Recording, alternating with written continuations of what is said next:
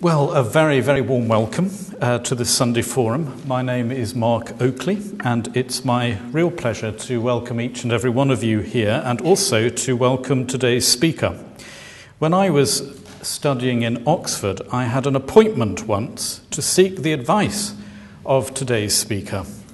The porter at the college lodge asked my name. Oakley, I said. To see Dr. Coakley, I said. He looked at me very suspiciously. Oakley for Coakley, that right, sir? Yes, I said. Then you better put your left leg in, he continued.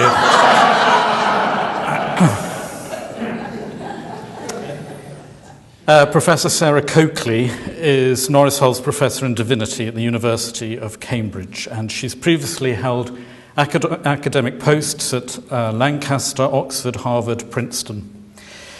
In 2013, she published the first volume of her systematic theology, God, Sexuality, and the Self, and her latest book, The New Asceticism Sexuality, Gender, and the Quest for God, is out, I believe, this very week. If God's gift to us is our being, and our gift in return is our becoming, Professor Coakley's work always pushes our contours and explores our confusions to see afresh what it means to be that human being or human becoming, living with desire. And en route in that search, she helps us to reimagine concepts and vocabularies and churchy political wranglings. I just read her latest book on the train to Lincoln and back this weekend, and I had to keep putting it down as challenge after challenge to lazy thinking came my way for me to appropriate and to allow in. As you read, you can feel new things inside happening, and that's true theology, not so much informative as formative. And it's a real delight to be able to welcome Professor Coakley as she speaks to us on a theology of desire.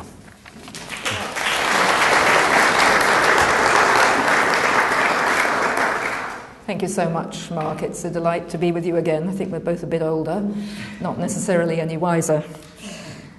Um, it's lovely to be with you today. And I want to talk about some of the contents of this new little book, The New Asceticism. It was not my idea to write this book, but in this case, a um, kind editor, a very experienced Roman Catholic editor, Robin Baird Smith um, of Bloomsbury, had been reading some of my essays that were written towards the end of my time at Harvard and asked if I would sew them together. Um, and it was he, I think, who saw something of the unity in them, and so I must express my gratitude to him. I'm going to talk today about the introduction to this book, and then a little bit about the first essay, which is emblematic of the central themes of the whole. The broad project of this little set of essays is to give new cultural and theological content to the very out of date, unfashionable notion of Christian asceticism. I spend much of the introduction to the volume explaining why I think this is important, but also intensely difficult in the conditions, as I see it, of huge and unacknowledged cultural paradoxicality in our culture about issues of the body, sexuality, and gender. Indeed, I think as a developed Western privileged culture, we are in a muddle about these issues, and it's not really surprising, therefore, that the churches seem to be even more in the muddle, since the churches often, as it were, uh, represent a kind of lightning rod for the culture at large. The collection of five essays in this new book focus on, first, the abuse scandals in the Roman Catholic Church, which broke in Boston at the time I was teaching at Harvard. The different, but interestingly um, uh, occurring at the same time, homosexuality wars in the Anglican Communion. The problems for continuing conservatives in our churches of the priestly woman at the altar, representing to conservatives a erotic cosmological disturbance. I argue it is an erotic cosmological disturbance, and a good thing too. The relation between contemplation, um, sexuality, and the doctrine of the Trinity, and the importance of practices in the ascetic life for virtue and for uh, formation.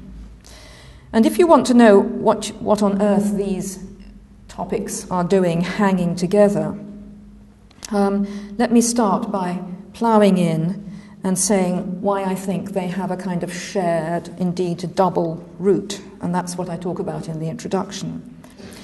First, I think what these topics, which are causing us so much trouble in the churches, reveal is an uncertainty about the very meaning of desire in our culture, its range of uh, application beyond the sexual or genital, and its moral valence. I think we've stopped in our culture thinking about how sexual desire is related to other desires, like desires for power or intimacy or money or food and drink. Um, or the um, state of the ecology. And we've particularly stopped thinking about the relationship between sexual desire and desire for God, which strikes many of us as really quite disjunct in terms of how we reflect on our lives. And so the book is a challenge to begin to think about desires as in a tether and how they are ordered together and how they're related to the desire that God has for us and us for God. And the second side of the tangled root is therefore the what I call ascetical problem, the problem of practice, of how to think about desire in such a tether in a fallen world, how to acknowledge the force for good as well as for ill in our desires, how to acknowledge the need for the transformation of our desires over a lifetime's long haul of sorting, sorting desires until they are, as it were, rightly ordered in God. And how we may have a capacity within the life of grace, in the economy of grace, to train ourselves in the realm of desire, in projects of formation and habit. That's the, that's the project of the book. I say on page three at the heart of the book, then, is an analysis of some striking contemporary confusions about desire itself, a clarification of the unconscious paradoxes that inhere in this confusion, and a proposal for a resolution through the recovery of a new vision of the ascetic life. And I go on, the chief problem with the category of desire in our culture is it has become so heavily sexualized in the modern post Freudian period as to render its connections with other desires, including desire for God, obscure and puzzling. And the chief problem with the category of asceticism is that within the same period it has become larded with the negative associations of repression, ecclesiastical authoritarianism, and even denial about abuse. So, these two key themes, desire and asceticism, are the ones I'm trying to probe and to give new valence to. And I want to argue that if we are to do anything positive and creative with these two categories, it must be done in a resolutely theological way. First, we need a newly forged theology of how human desire and desire, divine desire relate. And secondly, I want to say that only a lived, purified, revived form of the ascetic life will rescue our churches from their current divisions and incoherences on questions of sexuality, in which, as I see it, a false modern disjunction of alternatives has entered in between, on the one hand, libertinism, letting it all hang out, and on the other hand, repression. And we tend to assume, as we bounce back watching the liberal versus conservative ping pong match here. Uh, both sides uh, with supporting biblical texts, which tend to then bog down into unsatisfactory stasis. We tend to assume that repression is one option on one side, and libertinism, its opposite, is what you lurch to if you no longer repress. Um, these are modern categories, and I want to suggest that ascetic thinking going right back to the New Testament and Jesus' great demands about the kingdom and desire within the kingdom needs to be looked at afresh, and particularly through the lens of the wisdom of the early Greek fathers, who may or may not be familiar to you. We're more familiar probably in the West with Augustine. Now, in the introduction itself, I first try and spell out some cultural confusions about that are abroad, generally speaking, um, about desire, um, because I think they are so prevalent as to be um, uh, as to be taken for granted. And I think we as Christians ought to be thinking very hard about them rather than just assuming that they are there. Um, here as I put it in the introduction, are three uh, paradoxes, confusions, unresolved aporiae, as we like to say with long words of theologians, uh, that is, uh, unresolved dilemmas, which it seems to me are worth discussing and which are often just not probed when people are talking about sexuality. The first is that whereas Christians, I think, know how to answer this first question, it's often not thoroughly investigated or even um, thought about philosophically in the glossy magazine Sexual Reflections. Who read the uh, colour supplement to the Times yesterday to check out whether you have a middle aged marriage? Yes. Um, did you probe some of the? I certainly have a middle aged marriage, by the way, and I'm proud of it, but it's all of 40 years old, but um, and very happy too. But um, some of the presumptions that lay under the surface in that analysis, which I think were very interesting. The first dilemma I think that we're up against often is whether we, um, whether we are reducible to our bodies. This is a philosophical question. Am I reducible to my physical body, or am I, as it were, um, piloting or controlling my body um, from some other site of control? Now, if you um, think about the divergence in contemporary culture between absolutely taken for granted regnant physicalism in much scientific work, i.e., the reduction of ourselves to physical entities, and much uh, materialism in philosophy of mind, the assumption that I simply am my grey matter, my grey cells. And then compare that with sports magazines, for instance, and slimming magazines, which are all about um, the I who controls the body from some other site. Um, well, which is it? Um, what is your view ultimately on the relationship of body and something else, mind or soul? The second thing that I think we're in a great confusion about um, is this Is body sexual desire something that, as it were, rightfully demands satisfaction, something that its frustration would um, block um, a fundamental right to happiness? In fact, is sexual love a right, sexual enactment a right?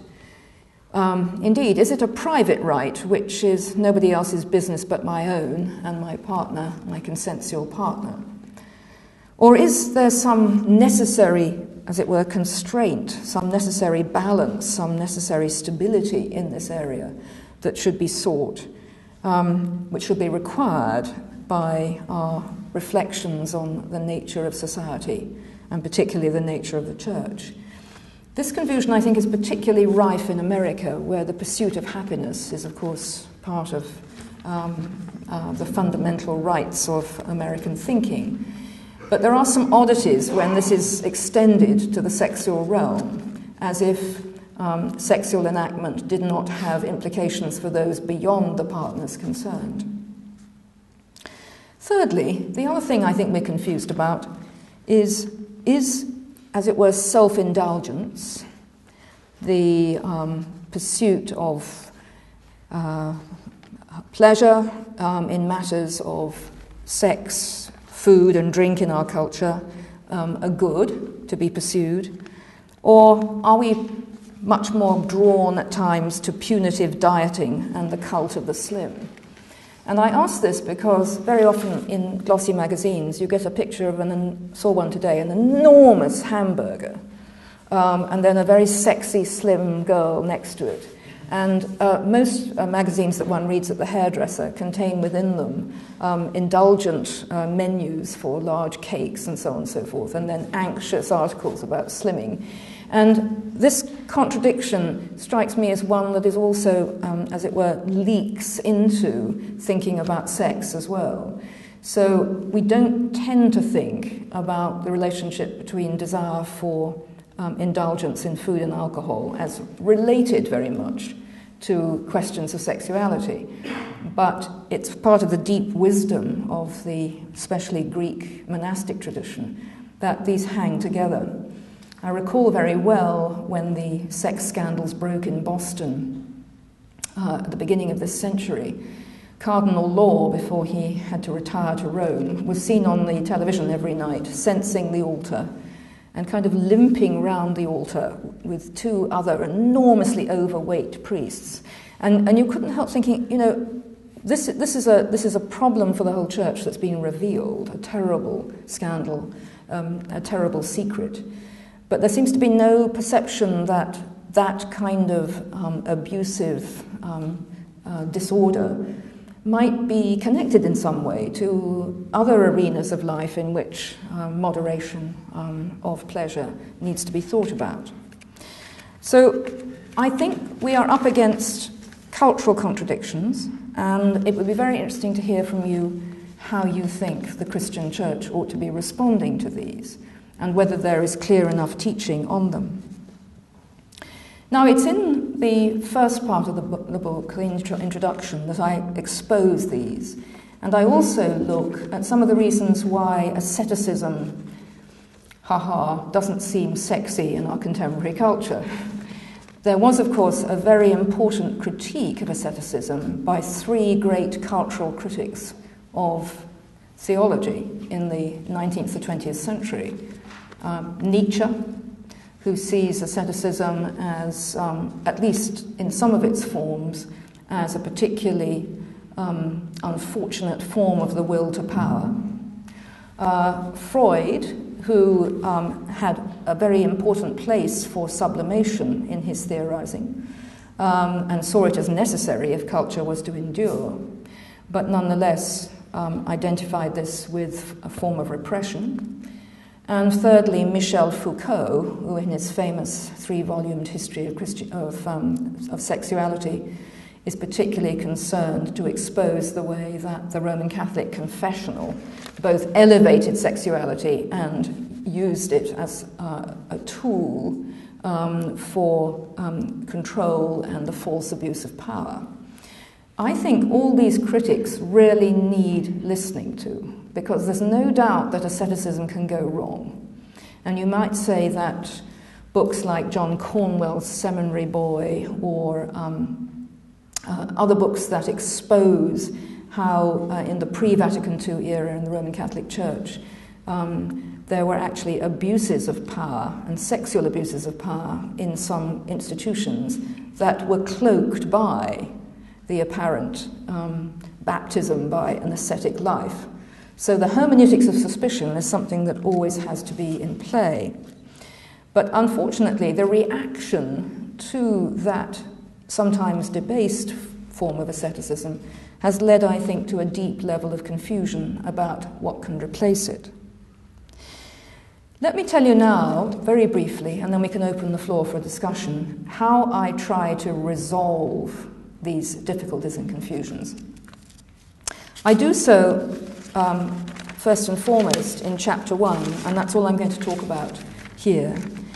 by asking my audience to rethink a new way beyond repression and libertinism. And my suggestion is that actually we can utilize very fruitfully the insights of the early monastic Eastern tradition, but particularly someone of whom I am especially fond, the fourth century author Gregory of Nyssa. Now, Gregory of Nyssa is extremely unusual, indeed unique, in the Greek ascetic tradition, because although he had two elder siblings who were extremely famous ascetics, um, who were always celibate Basil the Great of Caesarea and Macrina, both of whom were monastics.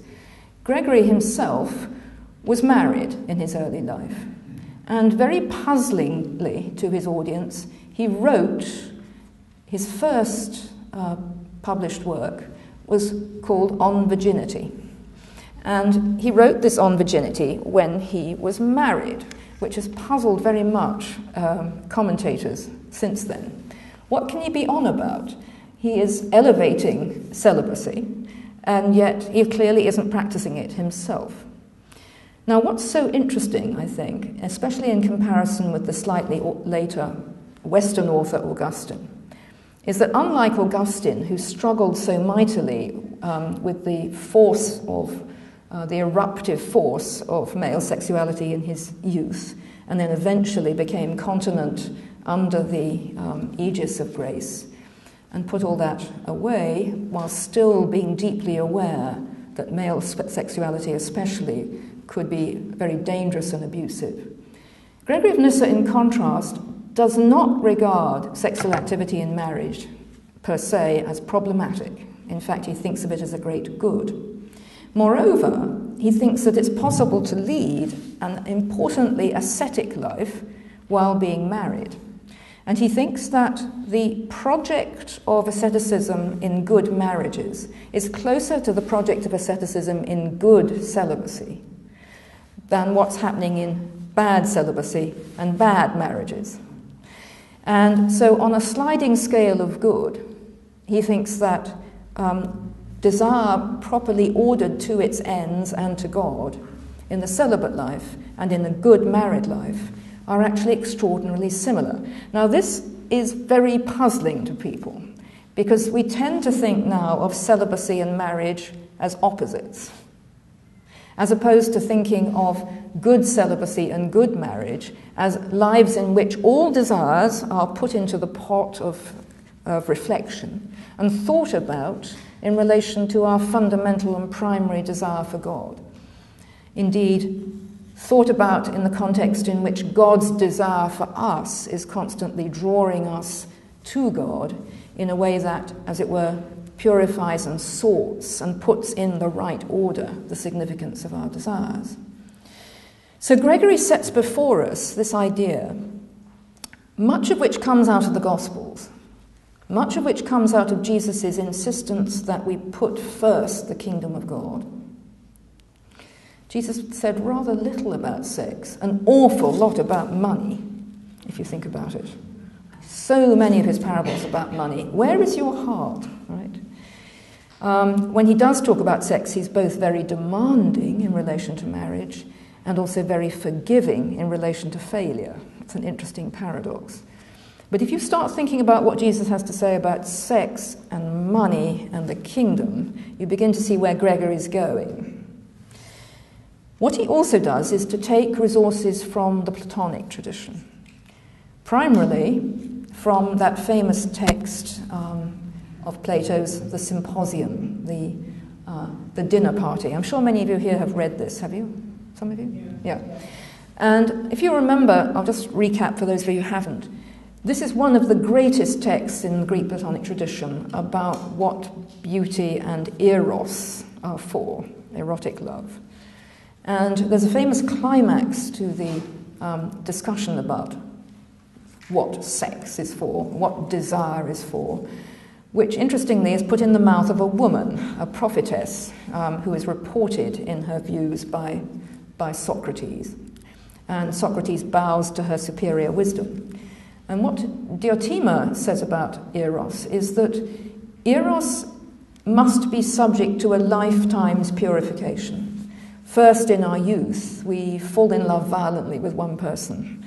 And funnily enough, in this particular text, she talks about this in relation to homoerotic love. Then, as we begin to mature, we begin to see the beauty that we first saw only in one golden head. In many others, we begin to see that actually this beauty is divine in itself. It actually is drawing us upwards to the realm of the Platonic forms, the form of beauty. And so, what we are doing in our lives is gradually, as it were, distancing ourselves from obsessional uh, love simply of one person. And Eros is becoming purified towards its true source in the divine realm.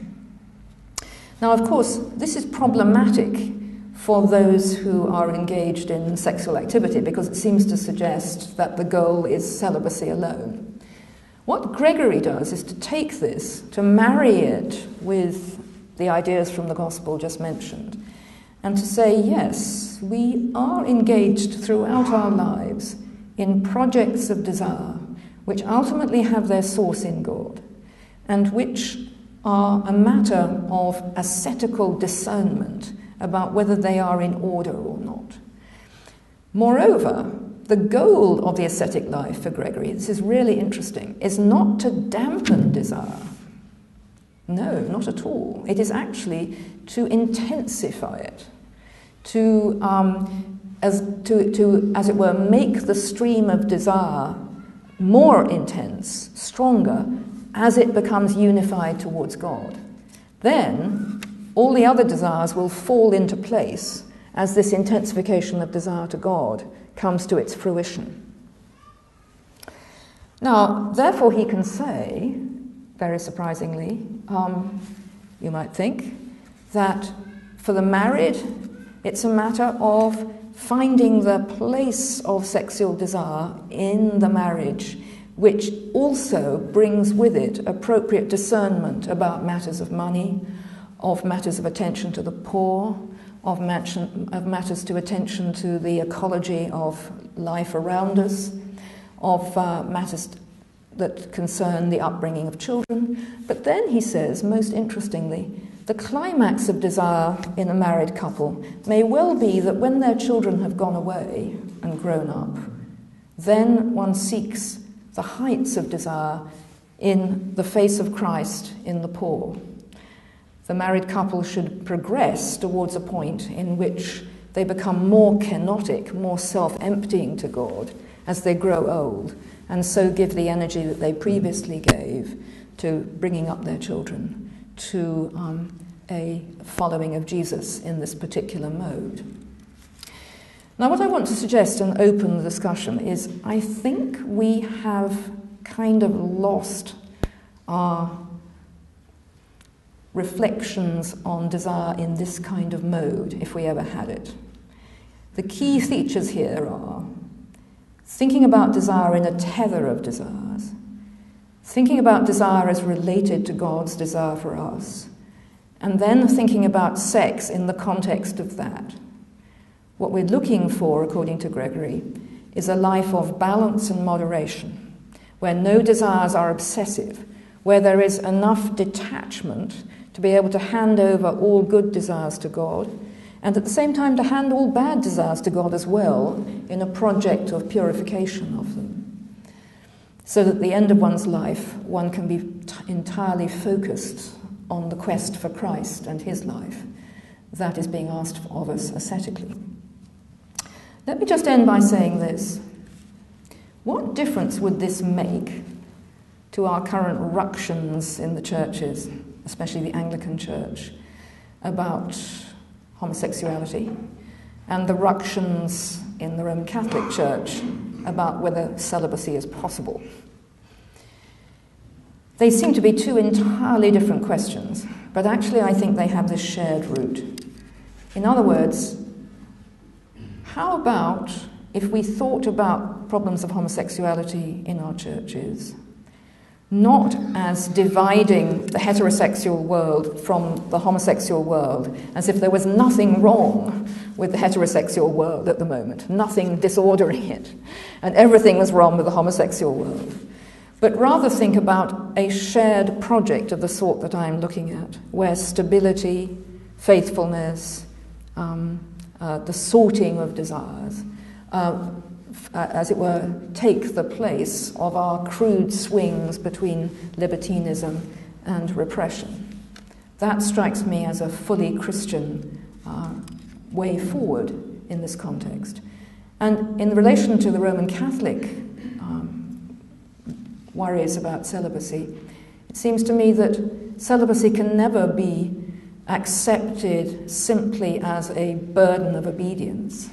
It has to be freely taken on in an undertaking which involves looking at all desires together, looking at our desires for intimacy as well as sex, looking for our for our desires to find balance in matters of food and drink, sleep, and so on and so forth in relation to um, sexual desire. Because without that wider reach of reflection, I do think that celibacy is very, very difficult to maintain and is, in any case, probably the gift of a relative minority of people. So I leave you with those suggestions. There are some biblical roots here. There's a strong dose of Plato that some of you may be allergic to. Um, there's a um, uh, proposal that instead of arguing about whether um, gays and lesbians um, should call their alliances marriage. I would propose that instead, since marriage has often been a word used very lightly in the Christian tradition, we think about faithful, stable vows of fidelity as what can join the monastic undertaking, heterosexual marriage, and gay and lesbian commitments and that this is the real acid test where Jesus is concerned. Thank you.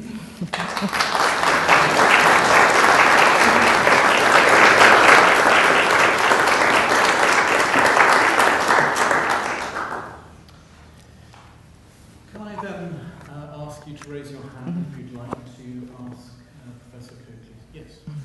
Well, thanks very much. Uh, inspiring talk. I really enjoyed it.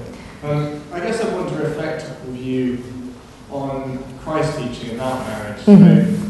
so, or, or about not about marriage. So, where Christ talks about those um, making oneself That's in the kingdom yes, heaven, yeah. but also talking about marriage in heaven will there be marriage Mm. at the resurrection of the dead. But also the fact that Christ seems to teach more about divorce and marriage. And Yes. He does that because our hearts were hardened and Moses gave you the law of that. So Yeah, yeah. I guess h- how would that kind of relate to what you have been saying? Uh, brilliant, Peter. I think you've got the little clutch of text that we need there. Um, so, obviously, people became celibate in the tradition of Jesus because they saw that he himself had lived that life rather unexpectedly in the Jewish milieu.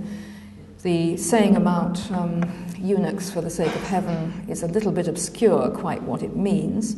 Um, but when he's tested about the resurrection life, he says there will be no marrying and giving in marriage. Um, and he suggests there, if anything, that there may even be a kind of realm of life beyond the binary of gender in some way. And that was very interesting to um, the ascetic writers of the fourth century, including Macrina, um, Gregory of Nyssa's sister, because she saw that as a text that meant she wasn't bound by the normal societal presumptions about women. So that was, that was that text had a very kind of liberative effect on women in the ascetic life. Whereas when we come to questions of uh, divorce, I think it's rather clear that the Markan version of the saying is the original, um, where Jesus simply says that if you divorce, you commit adultery.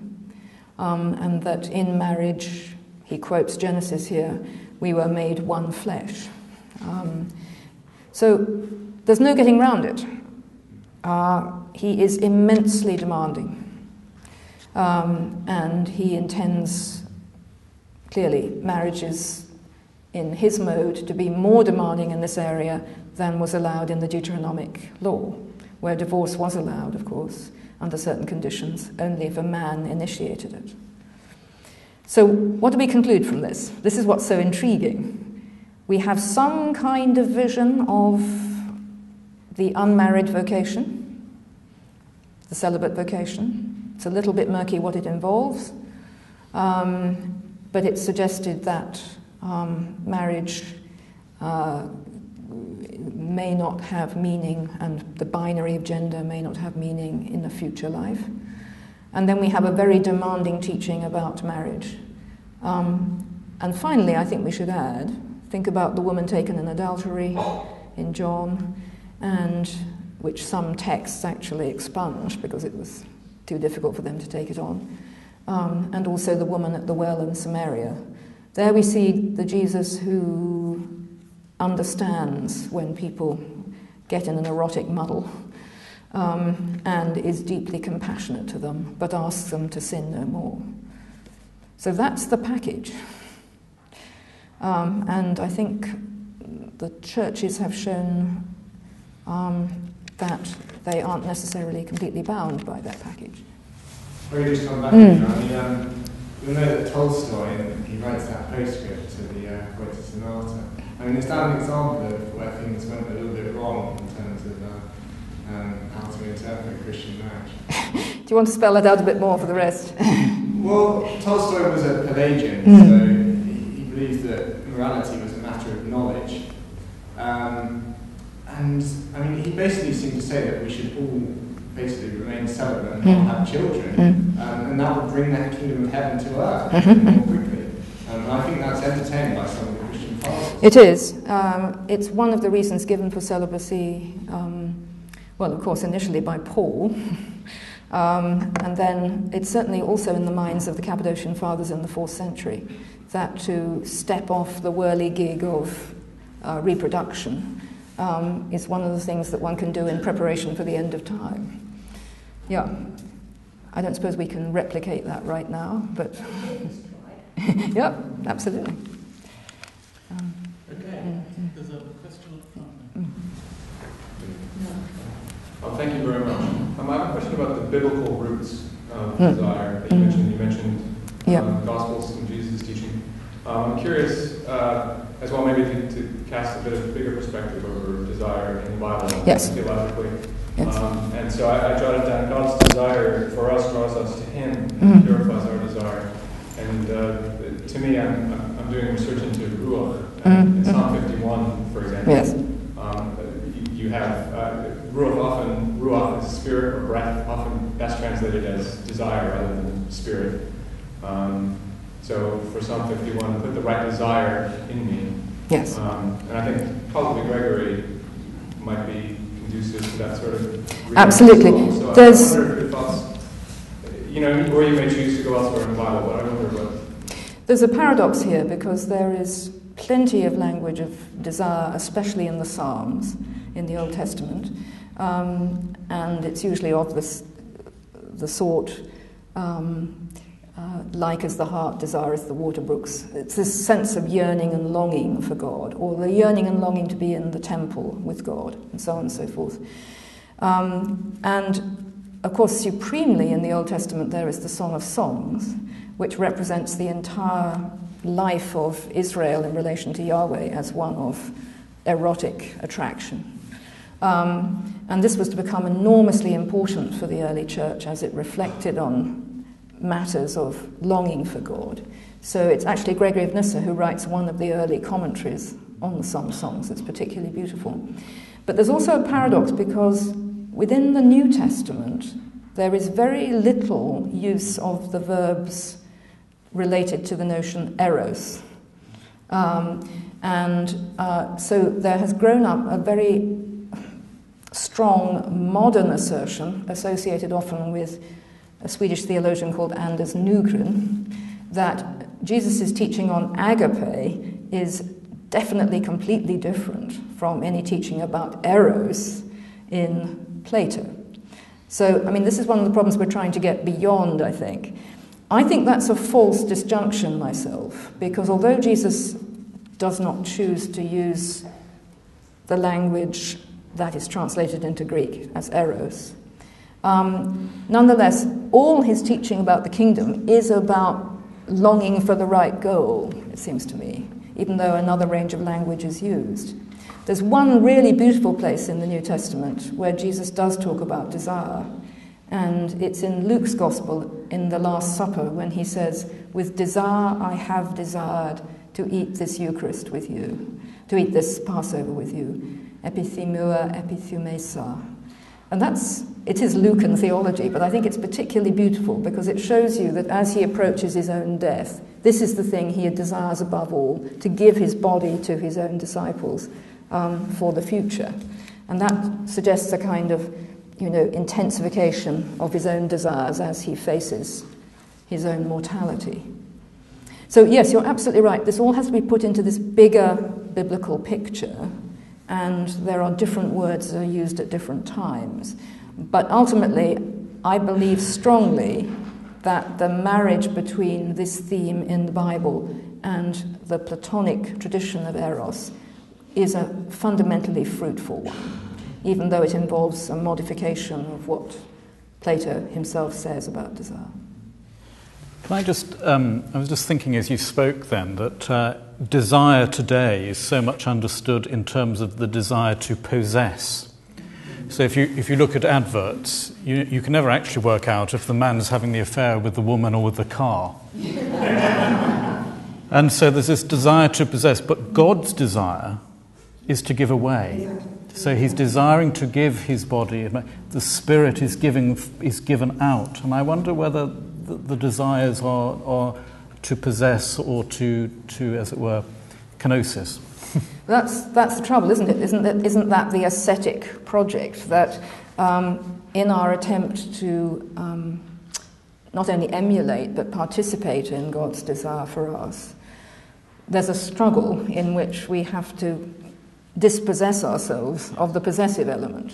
Um, and often, eros in the symposium is assumed to be only possessive. Actually, I think that's a misreading because I think in that ascent, what's happening is that the self is being asked to cease from being possessive to a point of detachment where it can receive from the form of beauty the love that it needs to know.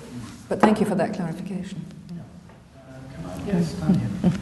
Um, I'm wondering about, I'm, I'm taking part in the shared conversations on human sexuality mm, mm. um, within my diocese. Mm. And we are thinking a lot about other. So we are thinking about what it is to be homosexual and whether or not there is a place for that uh, representation of our human sexuality within the church and where its place sits. And it feels as though the ascetic project that mm. you're proposing has an element of um, self so looking at our starting point with our own desire. Mm-hmm. And therefore, we can afford to not be polarised and be much more generous mm-hmm. in when at the points at which we come together corporately to reflect on that. Because we are, after all, all sinning in terms yeah, of yeah, our desires. Exactly. And when we understand our own sinful position, we can't then go, well, I'm a sinner. Actually, I'm married, so that's okay. we can kind of be much more uh, understanding and less worried about the representation of desire in others because it does feel that there is a shocking fear of, of, of, of sexuality more gen- generally as represented by a kind of sex that is different to the sex that we're engaged in. It, it does. I mean, I think what you're picking up on beautifully is precisely the shift of thinking that, um, that I'm trying to propose. That um, it's not as if the heterosexual arena of life is, is lacking problems, right? I mean, think of the you know, astonishing um, amount of use of pornography, which fills our imaginations and distorts them in a possessive and objectifying way. Um, and so there's not much said in the church about problems of pornography. I mean, I, I meet this a lot in the university because chaplains find in the university, I'm not a chaplain, but I talk to chaplains a lot, that, you know, we're now dealing with a generation of young men who have got most of their sex education on through the web. And so, right from the start, their imaginations are filled with fairly abusive forms of sexual expression, which their girlfriends are then meant to subject to. So this causes enormous trouble in, in young people's relationships and also enormous problems within marriages. And it strikes me, you know, the churches ought to be worrying about this um, and uh, how it affects both heterosexual and homosexual and, and um, uh, relationships, um, and making that a bit more of a project for reflection. Um, the ultimate test, it seems to me, this is where I love what Gregory says about this, is you know where does your where does your desire go in terms of giving back to society? Which desires actually create creativity, um, faithfulness, stability, what you might call glue within our fragmented society? That's the acid test ultimately. So thank you. That's helpful. Um, the element of moving sex from giving oneself pleasure to giving the other person Mm, pleasure mm. is a process of growth Mhm, mhm. along that trajectory that you're talking Mhm. on. Uh, I'm interested, having worked in a number of different countries, whether the traditions of the book, the religions of the book, have emphasized sort of law and emphasized almost a battle between the soul and the body. Mhm. Uh, and sometimes the soul is very much linked more in terms of the mind, so that it's, the mind is meant to be full of laws which the body has to obey. Um, I, I, I, once in my life I found the notion of chakra points very interesting. Mm. That the fact, the energy between the different layers is, is a graduation of it. And I've some, I sometimes said to people, look, um, if you get a buzz with somebody, the thing to do is to negotiate this energy that you've got. Not to think that you've got to leave them to bed Mm. immediately or that you're going to talk for hours. Um, it, it is that work to do, uh, to, to, it's the self-knowledge that we Yes. need to do. Yeah. Um, and to harness the enormous power for good that sexuality brings. And the great power of affirming another person. Mm. Mhm. Because I think a lot of people get so individuated. When I look at societies that are tribal, and there's always many people around, and there's dancing, and there's all that sort of thing that goes on, compare it to a lone individual who's only got a choice between a bottle of whiskey and a prostitute, as it were, to, to overcome that loneliness. That we've got to somehow put things back into a Context. That's lovely. You've raised several points there. They're all, I think, very profound. Um, we have, this is to go back to the first cultural contradiction I spelled out. You know, am I reducible to my body? And if so, what does that mean? Am I trying to control it from some other site?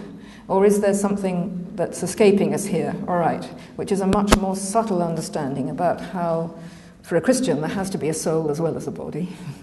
Um, but what is the relationship? How is that, as it were, how does that mature? Um, how does it mature in a way that isn't only interested in my pleasure, but in the transformation, the creative transformation of family and society round about me? Um, I, we, we lack teaching on this, don't we? I mean, I, I agree, the chakra points are very, very interesting because they show that the Vedic and, and Chinese wisdoms about the body and medicine have this, this subtle body realm, which is, as it were, between soul and body, and which gives all kinds of varieties of possibilities, which mostly in the West we don't think about. Yes. Um, I think, as you know, sir, I'm embedded in Teresa of Avila Yes. at the minute. And um, thinking about, I mean, yes, the Bernini statue everybody knows, which is very erotic, but at first, I, I tend to go Pig's House, so I don't like it, but the mm. more I'm reading her, that she does have, she uses an erotic relationship with God. Yes. But I think in, in the way you say that, that it is, it's a refined desire. But she's also so sensible about, you know, body asceticism. Yeah, She yeah. tells us don't overdo it. Um, and I was thinking, wonder if one of our, and we also get similar things in late medieval writers, is one of our problems is has Freud screwed things up for us? Yes, thank you. I, I was I was glad that someone raised that because there was a bit of my little paper here that I cut out, which is about Freud. And so, can I just say something about Freud? I'll be as quick as I can. Freud is much more interesting than the popular Freudianism of the glossy magazines, all right? And I gave myself the task of going back and rereading Freud chronologically because he changed his mind very extraordinarily during his career. And it's not surprising because it, the, the wisdom that arises arises as he ages. And we don't tend to think about sexuality as having a history, right? Um, but, you know, being fairly ancient myself now, I think I can talk about this. Um, and the fact is that over the years, you can develop a much more integrated vision of body and soul. And I think that's what happened to Freud. In his early years, the interpretation of dreams, he's talking about what he calls the libido. It's mainly about focus on male sexuality, um, the, the, great difficulties of negotiating, um, you know, the eruptive desires of a young man. Um, but the necessity of repression of some degree, otherwise there'd be chaos. But by the time he arrives at his last work, particularly Civilization and its Discontents, he's talking very positively about sublimation in a rather particular sense of using all the energy associated with sexuality for other ends, including those of societal love. And it's at that point that he recovers, he reads again Plato's Symposium, and he begins to see that there's some wisdom there that, he, that it's really important to incorporate. He actually thinks that the sexual urge can be channeled to societal love, for instance. And he begins to sound a lot more like Gregory of Nyssa. So, unfortunately, we blame things on Freud when we don't read him very carefully. And I think there's a general presumption out there that it was Freud who taught us that unless we're sexually active, we'll somehow be terribly unhappy and, um, you know, not, uh, not functioning at all as people, etc., etc. When the fact of the matter is that all of us at some points of our lives are going to be without sexual activity for whatever reasons. And this is not the end of the world. And in fact, it may actually be a period when we are learning more about our bodies than when we were carelessly active sexually. So, to go back to Teresa, I think she's a wonderful model um, for looking at how erotic desire can be channeled in various different ways and very creatively too. And I think Bernini got her completely wrong. He trivialized her by mistake. Yeah. Mm. you thought you'd been asked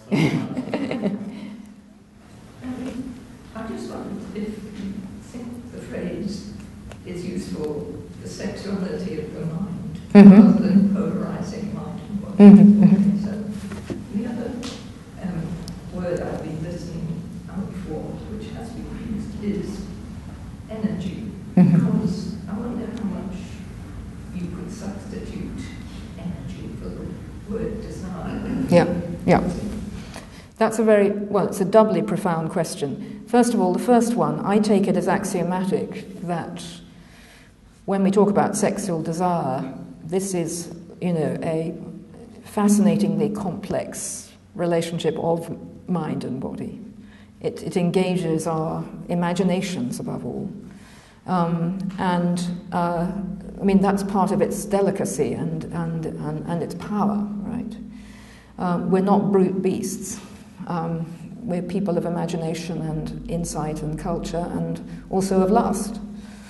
Um, energy is interesting because that's exactly the word actually that um, Gregory Nyssa often uses.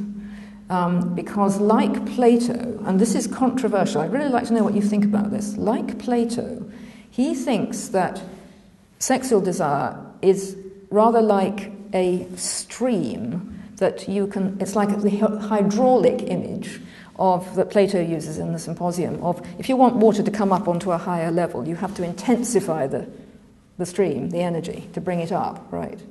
And so Gregory thinks that our lives should be engaged in intensifying desire, not uh, uh, obliterating it, and that the energy that we thus intensified rightly towards God will, as it were, spill over into everything else that we are engaged in culturally. Psychoanalysts, on the whole, there are probably some in the room, worry about this, this sublimation idea, the channeling notion. They think, they think it can go badly wrong, as indeed it can. And I think the danger here is that we can imagine that we can master this energy and redirect it, when actually, as Augustine saw more even than Gregory, um, the idea that we can completely master this is probably self delusive, and we need help from each other, from the wisdom of tradition, and from the grace of God above all. Okay. Good afternoon. Good afternoon, Dr. Sarah. Um, my name is Kenneth Douglas from the University of East London.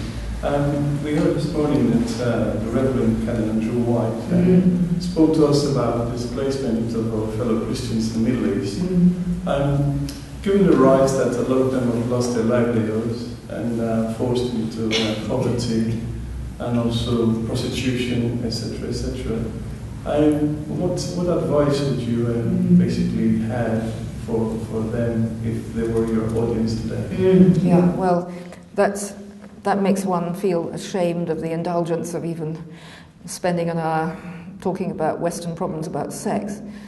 Um, however, what I do want to say is this is in the same nexus.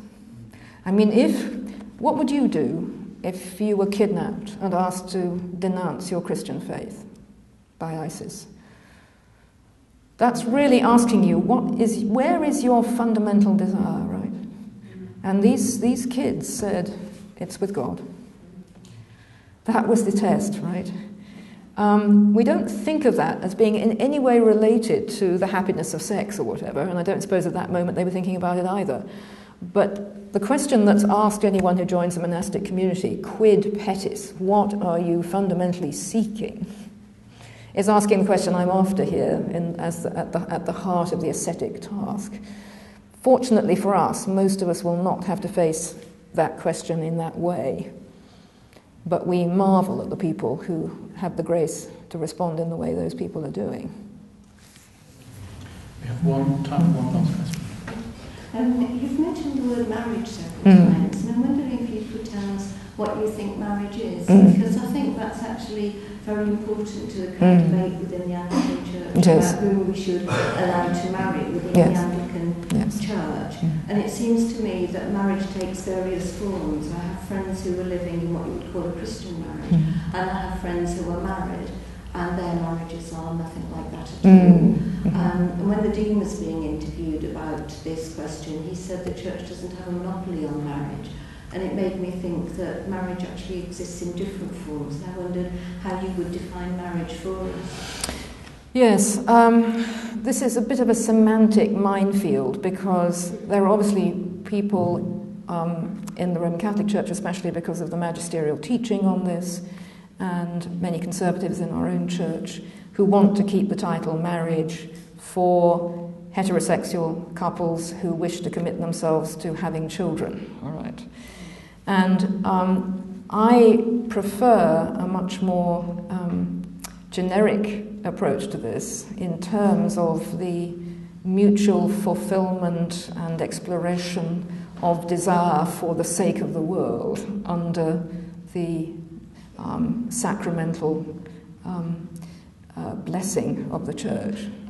So, um, what is it that I'm doing with my husband? Well, I, I see us as engaged in a mutual and uh, uh, mutually bound by vows undertaking to fulfill our Christian lives together in a way that um, we couldn't do if we were al- alone. That this is actually a, a very complicated and continuous negotiation of how best to love Christ as one. So that's, that's what I see it as fundamentally. And that's why I think, regardless of the nomenclature, I see no reason whatsoever that this can't also be equally seriously pursued homoerotically.